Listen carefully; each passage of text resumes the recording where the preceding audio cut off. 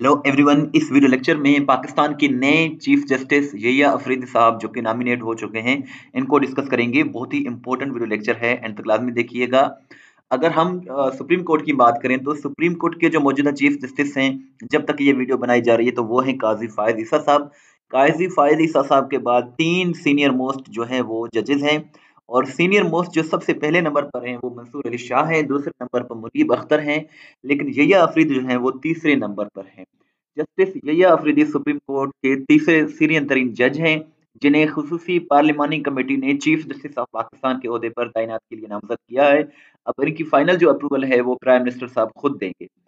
अगर हम यया अफरीदी साहब की बात करें तो ये खैबर पख्तूनख्वा के ज़िला कोहाट से ताल्लुक़ रखते हैं। और 23 जनवरी 1965 को पैदा हुए और ये जो है रिटायर होंगे 22 जनवरी 2030 को और लेकिन ये छब्बीसवीं आइनवी तरमीम जो रिसेंटली हुई है, उसके मुताबिक यया अफरीदी साहब जो है वो तीन साल के लिए चीफ जस्टिस ऑफ़ पाकिस्तान के तौर पर जो है वो सर्व करेंगे।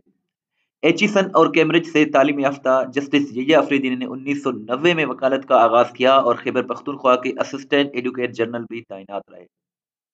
उन्होंने गवर्नमेंट कॉलेज लाहौर से ग्रेजुएशन की, जबकि यूनिवर्सिटी पंजाब यूनिवर्सिटी से एम ए माशियात की डिग्री भी हासिल की। इसके साथ साथ उन्होंने कॉमनवेल्थ के स्कॉलरशिप पर कैम्ब्रिज से एल एल एम की डिग्री भी हासिल की है।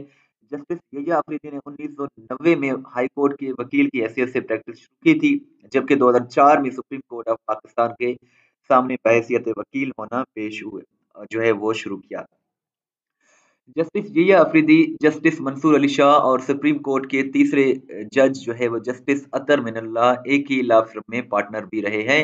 15 मार्च 2010 में उन्हें पिशावर हाई कोर्ट का जज तैनात किया गया। वो फाटा से पहले जज थे, जिन्हें 30 दिसंबर 2016 को पिशावर हाई कोर्ट का चीफ जस्टिस तैनात किया गया। 28 जून 2018 में उन्हें सुप्रीम कोर्ट का जज तैनात किया गया। जस्टिस यहिया अफरीदी ने 3 नवंबर 2007 की इमरजेंसी को सुप्रीम कोर्ट में चैलेंज किया था और बाद में जब आर्टिकल 6 के तहत बनने वाली खसूसी अदालत, जिसमें परवेज मुशरफ का ट्रायल चल रहा था, उन्हें इस तीन रुकनी बेंच का सरबरा बनाया गया तो परवेज मुशरफ की वकला की जानब से एतराज़ किया गया कि वो परवेज मुशरफ के इकदाम के खिलाफ खिलाफ दरखास्त गुजार रह चुके हैं, इसलिए वो केस नहीं लड़ सकते इसके बाद जस्टिस यया अफरीदी ने खुद को इस केस से अलग कर लिया था। जस्टिस यया अफरीदी ने मखसूस नशिस्तों से मुतालिक केस में अक्सरियती आठ जजों के फैसले के खिलाफ फैसला दिया था और अपना इख्तलाफी नोट जारी किया था। जस्टिस यया अफरीदी सबक वजी अजम जुल्फ़ार अली भुट्टो की फांसी के खिलाफ सदारती रेफरेंस पर सुप्रीम कोर्ट के नौ रुकनी लार्जर बेंच का हिस्सा भी रहे। जस्टिस यया अफरीदी ने supreme court practice and procedure ordinance 2024 के तीन रुकनी तीन रुकनी जजेस कमेटी में शामिल होने से माजरत कर ली थी।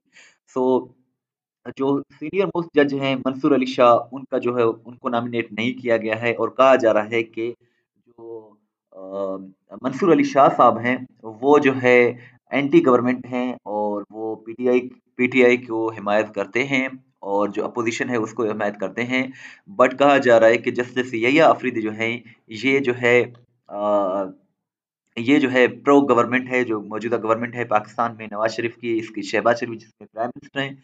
तो इसीलिए जो है ये गवर्नमेंट के हिमायती हैं जस्टिस ये अफरीदी अलीजिडली कहा जाता है और ये जो है, इसीलिए इनको जो है नॉमिनेट किया गया है। आप इस हवाले से क्या राय रखते हैं कि क्या ये दुरुस्त फैसला है जस्टिस ये अफरीदी को चीफ जस्टिस ऑफ़ पाकिस्तान के लिए नामजद करना यह गलत फैसला है?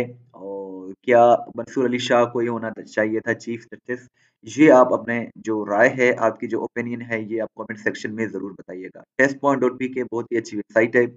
जहाँ डेली बेसिस पर करंट अफेयर्स अपडेट किए जाते हैं व्हाट्सएप पर फॉलो करना चाहते हैं तो ये हमारा व्हाट्सएप नंबर है। इस वीडियो को लाइक करें शेयर करें, दुआ में याद रखें और अपना जो है राय, अपनी कॉमेंट जो है ओपिनियन ज़रूर कॉमेंट सेक्शन में बताइए।